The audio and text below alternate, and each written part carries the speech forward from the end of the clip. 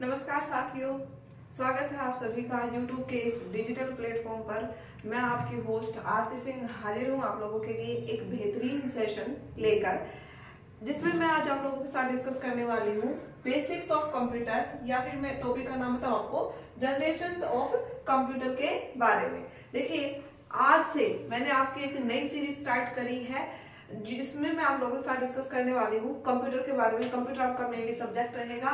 Computer में मैं आपको बिल्कुल ज़ीरो लेवल से लेकर हाई लेवल तक के टॉपिक आप लोगों के साथ डिस्कस करने वाली हूँ। तो ये आज अपना फ़र्स्ट सेशन है। अगर आपको ये पसंद आता है तो इसे लाइक कीजिए। चैनल में फ़र्स्ट टाइम विज़िट कर रहे हैं तो चैनल को सब्सक्राइब करना ना भूलें। इसे ज़्यादा से ज़्यादा शेयर कीजिए। देखिए, जो ये आज का टॉपिक है, चाहे आप स्कूल गोइंग स्टूडेंट हो, चाहे आप किसी भी कॉम्पिटेटिव एग्ज़ाम की प्रिपरेशन कर रहे हो, या फिर आप बैंकिंग का जो एग्ज़ाम दे रहे हैं, या फिर आपके टीचिंग में टॉपिक मेंशन करके दिया जाता है आपको आईसीटी आईसीटी तो उसमें, उन एग्ज़ाम्स के पॉइंट ऑफ़ व्यू से आज का सेशन काफ़ी इंपोर्टेंट रहने वाला है। चलिए स्टार्ट करते हैं। सबसे पहले, देखिए, अभी तक अभी तक आपके कंप्यूटर में पाँच जनरेशन आपने बेसिकली पढ़ी होंगी। First generation second generation third generation fourth and आपकी जो प्रेजेंट में जनरेशन चल रही है, वो है फिफ्थ जनरेशन यानी कि प्रेजेंट में कौन सी जनरेशन चल रही है? फिफ्थ जनरेशन सबसे बेसिक क्वेश्चन आपसे पूछा जा सकता है कि प्रेजेंट में कंप्यूटर की कौन सी जनरेशन चल रही है? तो उसका आंसर है फिफ्थ जनरेशन आपकी प्रेजेंट में चल रही है। देखिए, हम बात करते हैं फीचर्स की। फीचर्स की। आपको जनरेशन में बेसिकली आप फ़र्स्ट जनरेशन की बात करें, चाहे आप करें फिफ्थ जनरेशन की तो आपको फीचर्स में क्या क्या पढ़ने हैं? कौन कौन से फीचर्स ऐसे हैं जहाँ से आपके डायरेक्ट क्वेश्चन बनते हैं? डायरेक्ट आपसे क्वेश्चन पूछ सकता है। देखिए, जो अगर मैं बात करूँ आपके फ़र्स्ट जनरेशन का जो कंपोनेंट है फ़र्स्ट जनरेशन का जो कंपोनेंट है, वो क्या यूज़ किया गया था?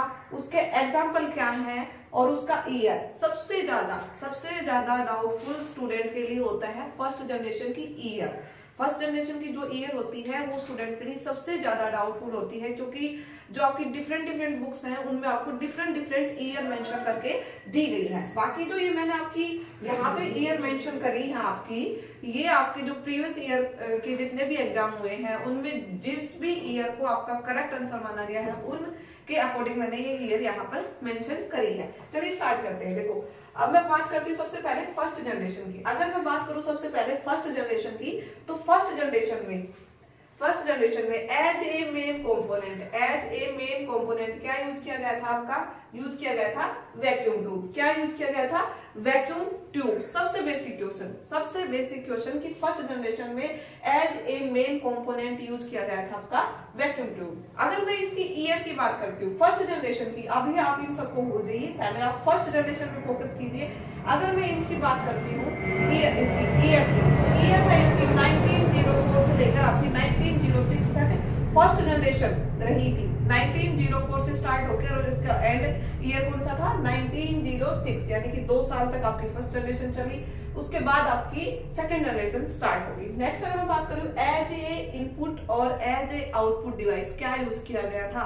ये सबसे मोस्ट इंपोर्टेंट क्वेश्चन है, सबसे मोस्ट इंपोर्टेंट क्वेश्चन और मैं गारंटेड कहती हूँ 90 परसेंट स्टूडेंट्स को ये पता भी नहीं होगा कि जो आपकी फ़र्स्ट जनरेशन थी, उसमें एज ए इनपुट और एज ए आउटपुट क्या यूज़ किया गया था? आपका यूज़ किया गया था पंच कार्ड क्या यूज़ किया गया था?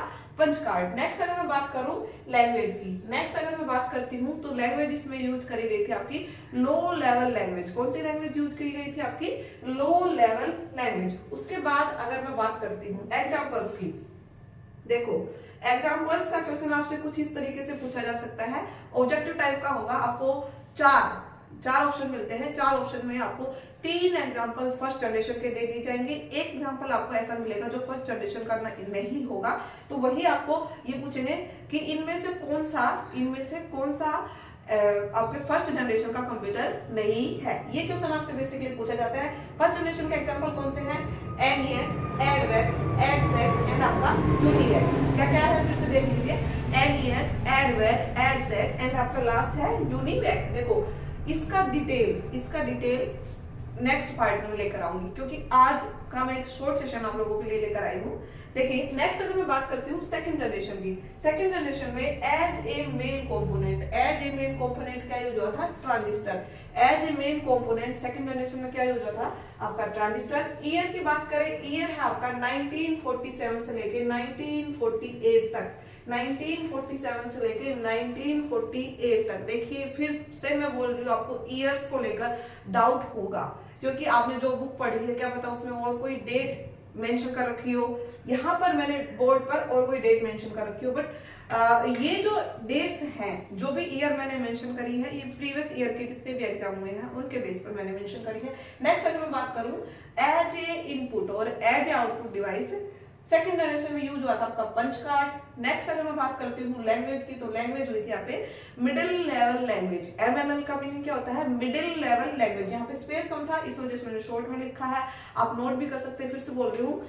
एमएलएल का मीनिंग होता है मिडिल लेवल लैंग्वेज नेक्स्ट अगर मैं बात करती हूँ, इसके एग्जाम्पल्स की तो इसका एग्ज़ाम्पल है IBM fourteen zero one and है इसका आईपीएम सेवन हंड्रेड क्या क्या एग्ज़ाम्पल इसके दो एग्ज़ाम्पल है basically IBM fourteen zero one next आपका आईबीएम सेवन हंड्रेड ये थे आपके सेकेंड जनरेशन के फीचर्स ये थे आपके सेकेंड जनरेशन के फीचर नेक्स्ट अगर मैं बात करती हूँ थर्ड जनरेशन की नेक्स्ट अगर मैं बात करती हूँ थर्ड जनरेशन की तो थर्ड जनरेशन में as a main component use हुआ था आपका आईसी आईसी आप देखो। चलो, आप सब लोग कमेंट सेक्शन में कमेंट करेंगे कि आईसी की फुल फॉर्म क्या होती है। अगर किसी को नहीं पता हो तो फिर नेक्स्ट सेशन में मैं आप लोगों के साथ डिस्कस करूँगी। बट अभी मैं देखना चाहती हूँ आपकी नॉलेज कितनी है। आईसी की फुल फॉर्म सब बच्चे कमेंट सेक्शन में कमेंट करेंगे। नेक्स्ट अगर मैं बात करती हूँ ईयर की तो जो ईयर है आपकी थर्ड जनरेशन की जो ईयर है, वो 1958 से लेकर 1960 तक 1958 से लेकर 1960 तक। देखिए, मैं आपके हर एक जो आपका जो भी पॉइंट है, उनको दो दो बार रिपीट इस वजह से करती हूँ कि आपका रिविजन आपके साथ हो चुके, हो सके। क्योंकि देखिए, जो आपका रिविजन है ना, कभी भी रट्टे मारने से नहीं होगा। जब भी हम, जब भी हम कोई क्लास लेते हैं, चाहे ऑनलाइन ले, चाहे ऑफलाइन ले, चाहे आप स्कूल जा रहे हो, चाहे कॉलेज जा रहे हो, चाहे आप किसी भी कॉम्पिटेटिव एग्ज़ाम की प्रिपरेशन कर रहे हो तो उसमें क्या होता है कि जब हमारी अटेंशन जब हम क्लास लेते हैं तो हमारी जो अटेंशन है, जो हमारी कंसंट्रेशन है, वो बिल्कुल टीचर की तरह बोर्ड के ऊपर होनी चाहिए। क्योंकि देखिए, जब क्लास होती है तो उसमें हमारी आँखें भी काम करते हैं, हम सुनते भी हैं और हम देखते भी हैं। तो उससे क्या होता है कि हमें बाद में रट्टे मारने की ज़रूरत नहीं होती अब डायरेक्ट डायरेक्ट समझ के समझ के भी कर सकते क्लास में ही कर सकते हैं। देखिए मैंने मैं ईयर बता रही थी आपको 1958 से 1960 तक। नेक्स्ट अगर मैं बात करूँ इसमें एज ए इनपुट डिवाइस और एज ए आउटपुट डिवाइस क्या यूज़ हुआ आपका? Keyboard and monitor keyboard and monitor ये क्वेश्चन मैं ये कहती हूँ, आपके स्कूल के एग्ज़ाम में तो आपसे पूछा नहीं जाएगा बट मान लीजिए आप काफ़ी अच्छे लेवल की तैयारी कर रहे हैं, मान लीजिए बैंकिंग की प्रिपरेशन कर रहे हैं तो वहाँ पे ये क्वेश्चन पूछा जा सकता है कि एज ए इनपुट और as a output keyboard and monitor का यूज़ कौन सी जनरेशन से स्टार्ट हुआ था? तो वो हुआ था आपका थर्ड जनरेशन से। किससे हुआ था? वो आपका थर्ड जनरेशन से। आपका फ़र्स्ट और सेकंड जनरेशन में क्या हुआ है? पंच कार्ड थर्ड जनरेशन में आपका हुआ है कीबोर्ड एंड मॉनिटर देखो कीबोर्ड के बारे में एक और क्वेश्चन है जो आपसे पूछा जा सकता है। कीबोर्ड, अब कीबोर्ड, देखिए इनपुट डिवाइस तो माउस भी है। काफ़ी सारे होते हैं जो इनपुट डिवाइस होते हैं।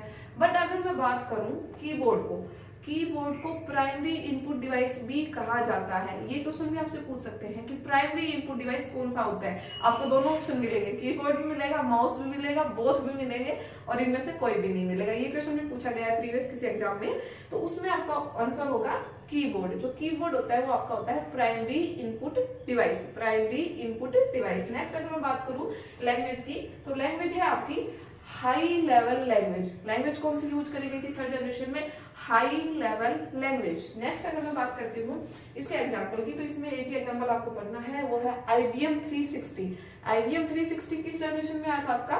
थर्ड जनरेशन में। किसमें आया था? थर्ड जनरेशन में। अगर मैं बात करूँ फोर्थ जनरेशन की फोर्थ जनरेशन की अगर मैं बात करती हूँ तो फोर्थ जनरेशन में, देखो फोर्थ जनरेशन में as a main component fourth generation में as a main component use हुआ था आपका V L S I V L S I अब वी एल एस आई की फुल फॉर्म आप नोट कर सकते हैं, यहाँ पे स्पेस नहीं है नोट कर देती।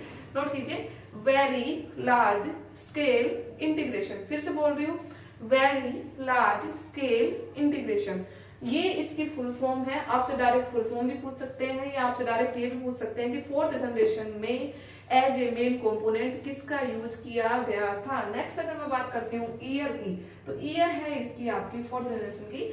1970 से लेकर 1971 तक। इसकी ईयर क्या है? 1970 से लेकर 1971 अगर मैं बात करूँ आपका एज ए इनपुट और एज ए आउटपुट डिवाइस यहाँ पे मैं बाद में क्या यूज़ किया जाने लगा? कीबोर्ड एंड आपका मॉनिटर क्योंकि आप देख रहे होंगे फिफ्थ जनरेशन में भी एज ए इनपुट हम इनपुट देने के लिए किसका यूज़ करते हैं? कीबोर्ड का यूज़ करते हैं। आउटपुट हमें किस पे मिलती है? मॉनिटर पर मिलती है, यानी कि स्क्रीन पर आउटपुट मिलती है।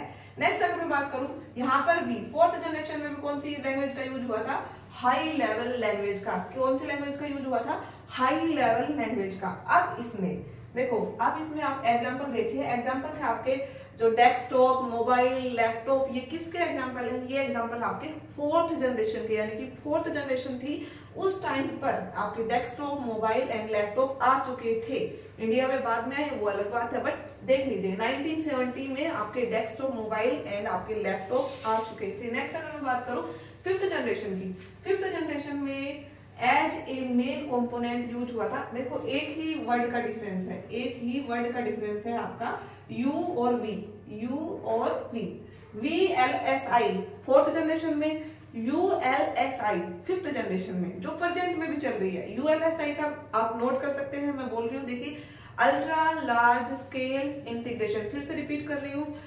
अल्ट्रा लार्ज स्केल इंटीग्रेशन, ये आपकी फुल फॉर्म है U L S I T इसमें आपसे फुल फॉर्म भी पूछ सकते हैं डायरेक्ट भी पूछ सकते हैं कि फिफ्थ जनरेशन में एज ए मेन कंपोनेंट क्या यूज़ किया गया था। नेक्स्ट अगर मैं बात करती हूँ नेक्स्ट है बेटा कि आपकी जो ईयर ईयर इसमें आपका ईयर जो है वो 1971 से लेकर टिल नाउ यानी कि प्रेजेंट में भी कौन सी जनरेशन चल रही है? प्रेजेंट में चल रही है आपकी फिफ्थ जनरेशन नेक्स्ट अगर मैं बात करती हूँ, वही आपका एज ए इनपुट और एज ए आउटपुट आपका कीबोर्ड एंड आपका मोनिटर क्या क्या यूज़ किया गया था? As a input and as a output use किया गया था। कीबोर्ड एंड मॉनिटर शॉर्ट में कर रही हूँ। के बी का मीनिंग के बी का मीनिंग आप किलो बाइट बिल्कुल भी नहीं लेना। आपको किलो बाइट नहीं होगा। यहाँ पे मैं शॉर्ट में मेंशन कर रही हूँ कीबोर्ड शॉर्ट में मेंशन करा मैंने कीबोर्ड किलो बाइट अलग होता है। मेमोरी यूनिट होती है। वो बाद में डिस्कस करेंगे। और इसमें लैंग्वेज यूज़ हुई थी आपकी एच एल एल यानी कि हाई लेवल लैंग्वेज कौन सी लैंग्वेज यूज़ हुई थी इसमें? हाई लेवल लैंग्वेज नेक्स्ट अगर मैं बात करूँ, इसका जो एग्ज़ाम्पल वो है पी आई एम इसका एग्ज़ाम्पल क्या है? फिफ्थ जनरेशन का पी आई एम अब देखो, मैंने आपको एक क्वेश्चन दिया था आईसी की चिप सॉरी आईसी की चिप आईसी की फुल फॉर्म आईसी की फुल फॉर्म आप कमेंट सेक्शन में कमेंट करेंगे। नेक्स्ट एक और क्वेश्चन दे रही हूँ पी आई एम की फुल फॉर्म कमेंट सेक्शन में कमेंट करेंगे। जितने ज़्यादा आप लोगों के कमेंट आएँगे, उतने ही ज़्यादा मतलब उतनी ज़्यादा मैं मोटिवेट होंगी। जितने ज़्यादा आप इसको लाइक करेंगे, उतना ही मेरे को मोटिवेशन मिलेगा। आगे मैं ऐसे ही कंटिन्यू आप लोगों के लिए एक सीरीज़ जैसे आज मैंने फ़र्स्ट स्टार्ट किया बिल्कुल बेसिक से। बिल्कुल मैंने आपको टॉपिक का नेम भी यही डाला था। बेसिक्स ऑफ़ कंप्यूटर या फिर जनरेशन ऑफ़ कंप्यूटर ये मैंने आपकी एक सीरीज़ स्टार्ट करी है, बिल्कुल ज़ीरो से लेकर मैं बिल्कुल हाई लेवल तक आपका कंप्लीट आपका कंप्यूटर पढ़ाने वाली हूँ। तो आई होप आपका जो भी डाउट था जनरेशन ऑफ़ कंप्यूटर को लेकर वो क्लियर हो गया होगा। फिर भी अगर आपको कोई ऐसा डाउट आता है आपके माइंड में तो कमेंट सेक्शन में कमेंट कीजिएगा। आपको हर एक कमेंट का रिप्लाई टाइम टू टाइम मिलता रहेगा। आज का सेशन इतना ही रखते हैं। मिलते हैं एक और बेहतरीन सेशन के साथ। Thank you so much channel में फ़र्स्ट टाइम विज़िट करें। तो चैनल को सब्सक्राइब करना ना भूलें। आपको आज का सेशन कैसा लगा है? कमेंट सेक्शन में ये भी कमेंट करके ज़रूर बताइएगा। Thank you so much